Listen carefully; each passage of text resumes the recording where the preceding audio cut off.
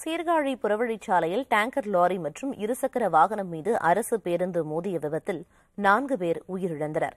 திருத்துறைப்பூண்டியில் இருந்து சென்னை நோக்கி அரசு பேருந்து வேகமாக சென்று கொண்டிருந்தது.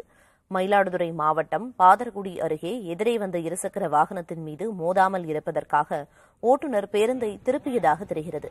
இதில் கட்டுப்பாட்டை இழந்த பேருந்து சாலையோரம் நின்ற டேங்கர் லாரி மீது மோதியதோடு எதிரே வந்த இருசக்கர வாகனத்தின் மீதும் மோதியது. இந்த விபத்தில் பேருந்து நடத்துனர் மற்றும் இருசக்கர வாகனத்தில் பயணம் செய்த மூவர் என மொத்தம் நான்கு பேர் உயிரிழந்தனர்.